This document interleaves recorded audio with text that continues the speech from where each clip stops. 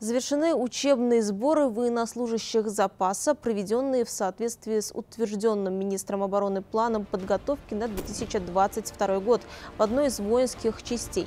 Основной целью учебных сборов является совершенствование боевых навыков, военной квалификации военнообязанных, ознакомление с современным оружием и военной техникой, имеющейся в арсенале армии, а также обучение правилами обращения с ними с учетом полученного в Отечественной войне опыта.